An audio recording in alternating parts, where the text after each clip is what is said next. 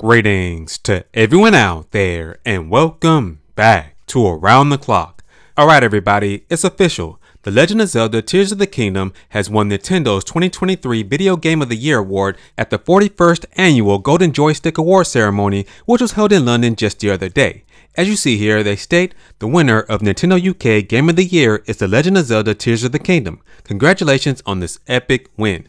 Now, I want to make it very clear that this is not the Game of the Year the entire show. This is Nintendo's Game of the Year at this ceremony, so I want to make that very clear. But nonetheless, this is a big win for Nintendo because Tears of the Kingdom is a huge game, massive in size, huge in concept, and a very enjoyable game. You know, it took me months to complete this game, and I enjoyed every bit of it. It was very addictive with the brand new powers and everything, the story.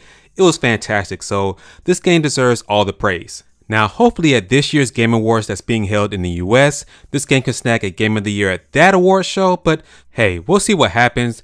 There's a lot of politics involved in these Game Awards, so we will see, but hopefully it does because like I said, it deserves all the praise. So, with that being said, guys, that's going to do it for this video. And what are your thoughts on everything discussed here? Please let me know down in the comment section. And please, make sure to like, share, and subscribe. And as always, remember to keep it locked here around the clock. We're here we focus on Nintendo news content around the clock.